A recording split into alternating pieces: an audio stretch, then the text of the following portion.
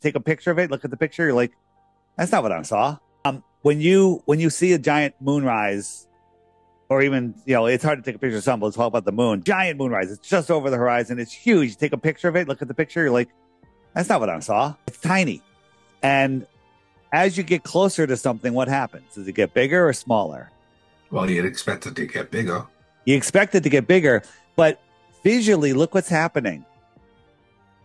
It looks like it's getting smaller. Yeah, that's freaky. Yeah, wait, I'm not there yet. You, you almost can't see it when we get here.